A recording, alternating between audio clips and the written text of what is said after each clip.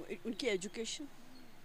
और वो आज के नहीं वो जब अंग्रेज़ था यहाँ पे उन्होंने तब से ही अपनी एजुकेशन को ज़्यादा प्रेफर किया हुआ था।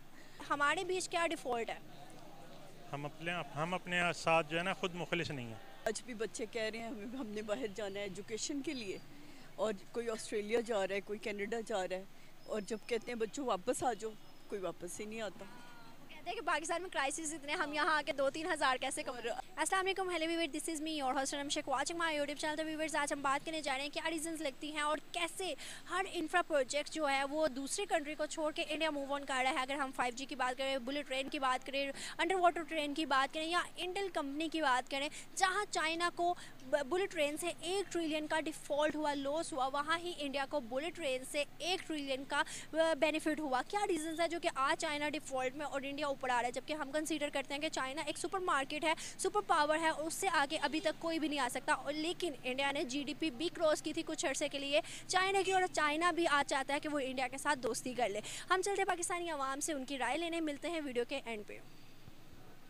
अस्सलाम वालेकुम। वालेकुम अस्सलाम। आपका नाम? मेरा नाम इरम बुखारी। मैम, आज का बेसिकली क्वेश्चन मेरा आपसे ये है कि क्या, कैसे और क्यों जितने भी इंफ्रा हम प्रोजेक्ट्स देखते हैं, वो सब इंडिया को मूव ऑन कर रहे हैं, बाकी कंट्रीज़ को छोड़ के, क्या रीजंस लगती हैं?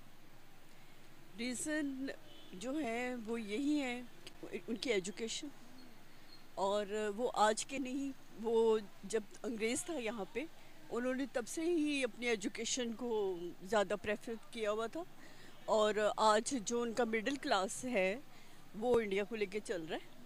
आज भी अगर हम देखें तो दुनिया ये कहती है कि हम एजुकेशन में आज भी इंडिया से दस साल पीछे हैं। दस साल पहले जो वो बुक्स पढ़ते थे आज हम पढ़ रहे हैं। ऐसे ही है। ऐसे ही है। क्या रीजंस लगती हैं कि आज जो है पाकिस्तान डेवलप नहीं कर सका जो कि पाकिस्तान को भी पचहत्तर साल हुए और इंडिया को भी पचहत्तर साल? बस वही बेसिक्स जो हम लोगों को भी चाहिए था कि हम यानी टैलेंटेड लोग आगे नहीं आए। हम जैसे लोग पीछे रह गए। और जो टैलेंटेड लोग थे या जो मेरे मेरी एज ग्रुप के लोग हैं वो सब मुल्क से बाहर हैं।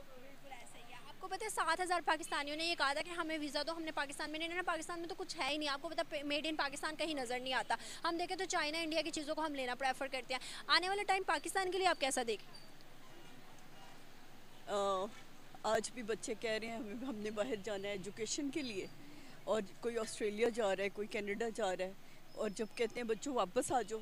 कोई वापस ही नहीं आता। कहते हैं कि पाकिस्तान में क्राइसिस इतने हम यहाँ आके दो तीन हज़ार कैसे कम अभी एक रिसेंटली मेरी फैमिली का एक बच्चा गया है। वो यहाँ से ही पढ़े लम्ब से और बड़ा अच्छा लेकिन वो चला गया। उसको वहाँ ज़्यादा जर्मन चला गया। उसको ज़्यादा वहाँ पे अच्छा एक और छोटा सा सवाल मेरा आपसे ये है कि आपने कहा है कि वहाँ का जो मिडिल क्लास तबका है वो उनको आगे पहुँचा रहा है। हम लोग कहते हैं कि जो भी हमारे मुल्क में डिफ़ॉल्ट होता है ना जो भी क्राइसिस आते हैं वो हम उसको इंडिया को कसूरवार ठहराते हैं। क्या रीज़न है जो हम अपनी गलती नहीं मानते? अपनी गलती हम नहीं ऐसा तो नहीं है। आपने मोस्टली सुना होगा हम लोगों के जब भी कोई चीज़ होती है ना तो हम लोग मोस्टली मेजोरिटी आवाम को राइवल अपना समझते हैं दुश्मन समझते हैं। पचहत्तर सालों में हम दुश्मन है लेकिन आपको लगता है कि जंग फहमी में ना रहे कि वो हमारा दोस्त है। दुश्मन दुश्मन किसको कंसीडर किया जाता वो तो हमारा यानी कि जब हमारा पाकिस्तान बना है तो हमें साथ ही वो विरासत में मिला है दुश्मन। कोशिश करते हैं जो हमसे आगे जा रहे हैं हम उससे आगे जाएँ बल्कि उसको कसूर वार ठहरा के कि उसकी गलती उसकी गलती हम कभी कामयाब हो सकते हैं। नहीं। मेहनत से ही कामयाब हो सकते हैं। मेहनत क्यों हमें सबसे पहले अपनी बेस ठीक करनी चाहिए? हमें भी इंडिया की तरह अब इस अपनी एजुकेशन को आगे लेके जाना चाहिए और उन बच्चों को मौके देने चाहिए जिनमें टैलेंट्स हैं और अपने हुबुल वतनी ये दिल में जब तक नहीं आएगी कुछ भी नहीं होना। ऐसे बहुत अच्छा लगा thank you so much thank Tanveer Asgar. Basically आज का सवाल मेरा आपसे ये है कि क्या रीज़न है? कैसे हर जो बड़ी कंपनी है हर जो बड़ी इंडस्ट्री है वो दूसरे मुल्क को छोड़ के चाहे वो चाइना हो अमेरिका हो या कोई और हो वो सब दूसरे मुल्कों को छोड़ के इंडिया की तरफ़ मूव ऑन करेंगे? इंडिया वाले ब्रोकर बहुत अच्छे हैं। किस चीज़ के आप किस मतलब टाइप से आप कह रहे हैं ब्रोकर बहुत अच्छे? हर लिहाज से बहुत अच्छे ब्रोकर हैं। अगर हम उनकी पॉलिसीज़ की बात करें तो आपको नहीं लगता उनकी पॉलिसीज़ हम लोगों से ज़्यादा बेहतर पॉलिसीज़ हमसे ज़्यादा बेहतर इसलिए हैं कि ओवरऑल जो है ना, वो अपने मुल्क से मुखलिस हैं। और हमारे पास तो आपको पता ही है हमारा क्या हाल है। अगर हम सर इस बात को देखें कि हमारे जो यहाँ प्राइम मिनिस्टर या फॉरेन मिनिस्टर हैं अभी पचहत्तर साल गुजरेंगे एक छोटा अरसा तो है नहीं। पचहत्तर सालों में हमारे मुल्क में ना कोई इंडस्ट्री सही लगी ना ही लोकल मैन्युफैक्चरिंग पे काम हुआ। इवन मेड इन पाकिस्तान तो बहुत कम नज़र आता है। जो होता है वो भी लोग लेना नहीं पसंद करते। मेड इन चाइना इंडिया को हम प्रेफर करते हैं। क्या टाइम पीरियड है हमारे लिए? क्या क्राइसिस कभी कम होंगे हमारे मुश्किल है। आपको लगते हैं? कम नहीं हो सकते।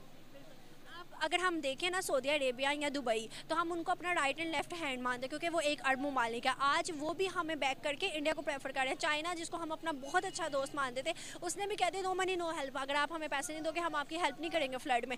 क्या रीज़न लगती है कि हर कोई पाकिस्तान को छोड़ा है? हमारे बीच क्या डिफ़ॉल्ट है?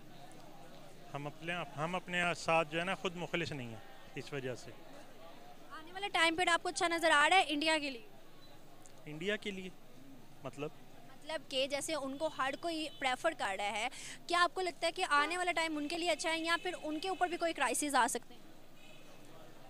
अगर हमारे पाकिस्तान में अच्छे लोग आ जाएँ तो इन ताला पाकिस्तान जल्दी आगे निकलेगा उनसे। पाकिस्तान के अच्छे लोग, अगर मैं आपसे कहूँ ना कि सात हज़ार पाकिस्तानियों ने, ये कहा था, हमें वीज़ा दो, हमने नहीं पाकिस्तान में रहना, पाकिस्तान में कोई है ही नहीं, कुछ है ही नहीं।